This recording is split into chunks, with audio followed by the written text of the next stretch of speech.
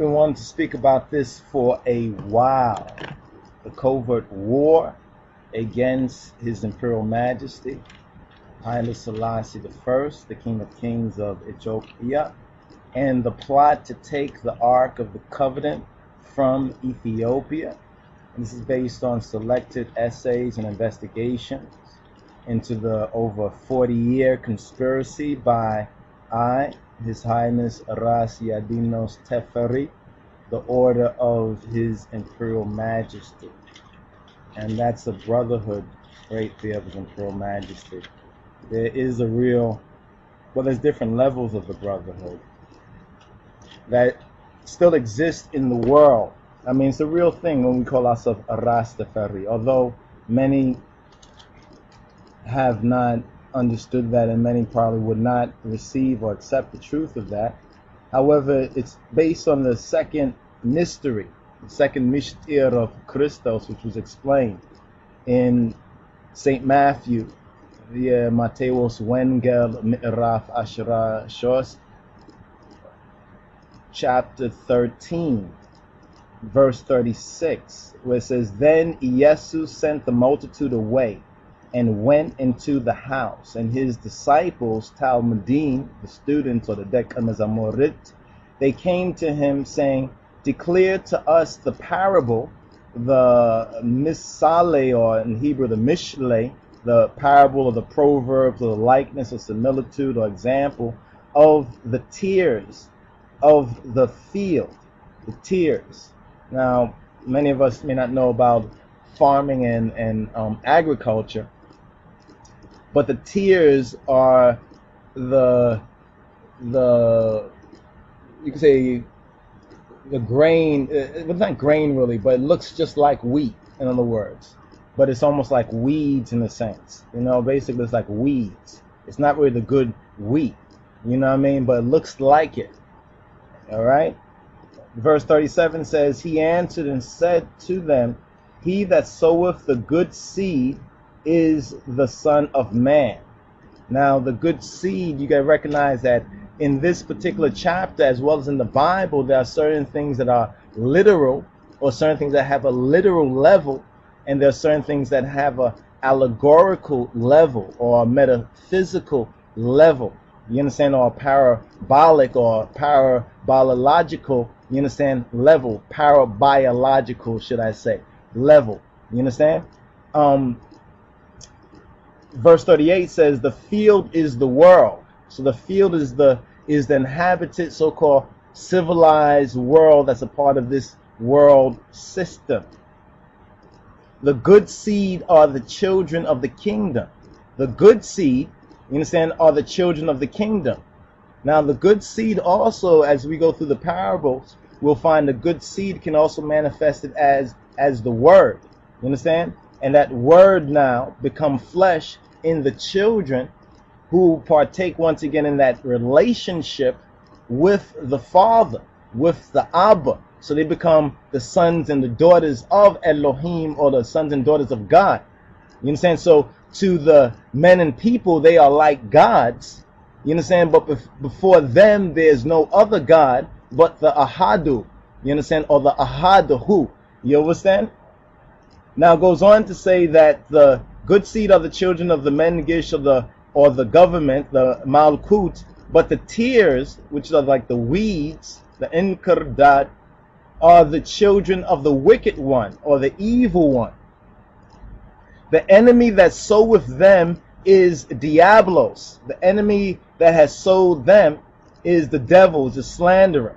Now the harvest is the end of the world, or what some say the end of the age more correctly, is talking about the end of this Gentile world system, or you could say white domination, uh, politics, theology, white supremacy, others will call it. See, a lot of white people don't want to really admit that, but many white people are beginning to recognize in the truth of the scriptures and the word in this time that we're living in, that's exactly what it's talking about. And even they're talking out and speaking out against the so-called other white people in their white system because they recognize that it's a counterfeit, it's a fraud, right? The reapers now, and the reapers are the angels. Now the reapers are the angels. Now, the angels are the messengers. So, angels, when it says angels, angels can be used to refer to spiritual beings or it can also refer to human beings. But the thing that we must remember and recognize is that we are spiritual beings at our core, and that's what Jesus Christos, that's what the Christ of His Imperial Majesty, Yehoshua HaMoshiach, that's what we receive Him. You understand? And we partake of Him, and we become one in and through Him, so that the Father and the Son abide in and through us, and we're connected now to that matrix, to that world, not to this world, but to His world, not to the world that's perishing, you understand, but to the world that's incoming. Verse 40 says, as therefore the tares are gathered and burnt in the fire, so shall it be in the end of this world. Now, as the tares, as in farming culture, you understand, in agriculture, you gather everything out of the field and then you separate the wheat from the tares because a lot of times it grows together. You understand? It grows together and you can't pull up one before the harvest because then you might ruin the good one. You understand? So this is a parabolic logic here, and you have to understand this, and then you understand how it connects to this covert war against H.I.M. Haile Selassie I. That in the scriptures in Matthew 13, remember that number 13, people speak about his imperial majesty being a Freemason, but they they only understand half the story. They don't understand the fullness of it. You understand? His Majesty is a builder. He is he, he is the grand architect, the true grand architect. You understand that sits in the east, but you have to remember that not according to the so-called Freemasonic so-called order, because the order that His Imperial Majesty is of is a much more ancient and a higher order because it connects to the people of the book, the Bible. Are you not like the the children of Ethiopians unto me, O Bane Israel? Are not the Bane Kushim like unto the Bane Israel? Yovas?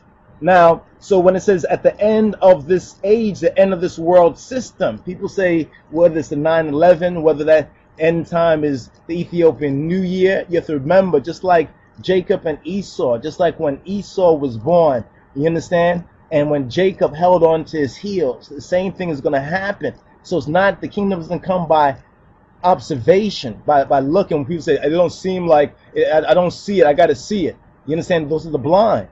You understand? Because we walk by the Amen, by the true faith, and not by sight, not by our physical earthly sight, do we walk spiritually in the way of the true Christ, which is the way of his imperial majesty.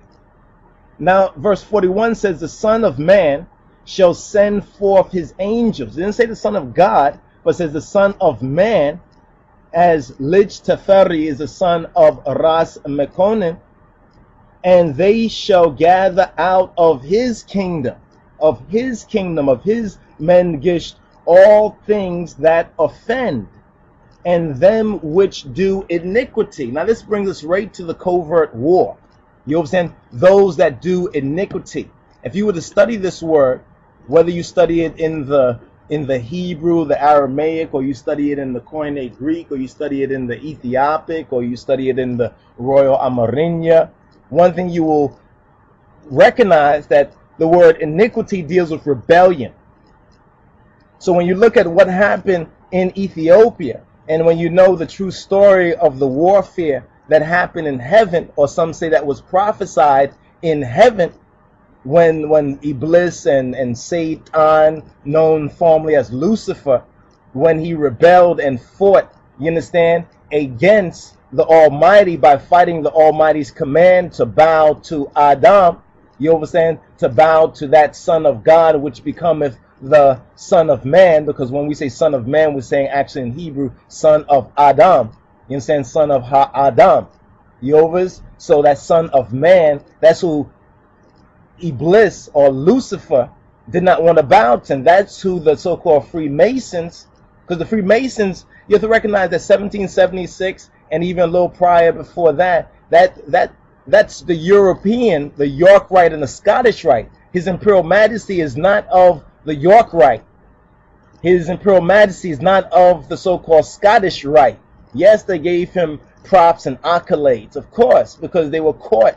You understand? His Imperial Majesty had caught them by surprise and caught them suddenly. and manifested on them. That's why you see in the pictures all of them, these big high leaders bowing to this five foot four inch tall man from Ethiopia who happens to be the lion of the tribe of Judah, the king of kings of Ethiopia, the elect of God upon the throne of David, and all of them are bowing. But now, black peoples, many of them were blinded. They didn't see this. They didn't recognize this. They turned their backs to the so-called civil rights and the Negro Uncle Tom leaders. They turned their backs to. So that's one level of the covert warfare against the Beta Israel, against the lost sheep of the house of Israel. That's one level of it. Now we have a next level that went on in Ethiopia. Remember, this it's like the Kennedy assassination. They shot Kennedy from three separate vantage points. It was known